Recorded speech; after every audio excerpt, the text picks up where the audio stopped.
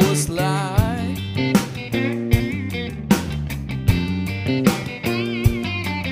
I don't wanna hear about your plan.